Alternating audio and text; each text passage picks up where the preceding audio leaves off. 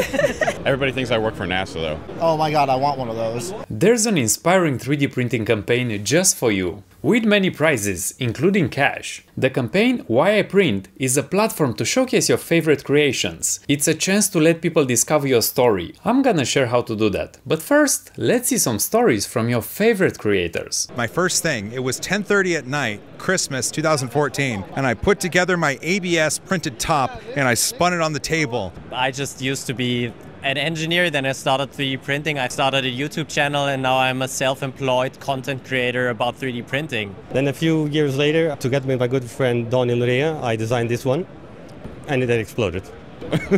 oh, that's cool. But when you fully take from the computer to the actual printer, it's like completely different feeling. Oh, I really got into 3D printing to make custom jigs for my tools, mount on the wall. It was a nice, nice story to start with. It's alien tech.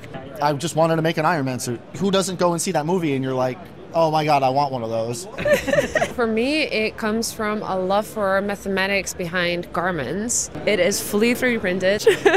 and I printed like a Pixar lamp, one of those like bouncy lamps. Assemble it, I still have it to this day. It's such a cool feeling. And then when 3D printer came to my home, I was like, I can make everything. Oh, Voltron, a robot that saves the planet, universe from the 80s designing something and having it in my hands in about one or two hours. Yes, I'm the youngest owner of the world. TPU I found super cool because it's so flexy and PLA because it's easy.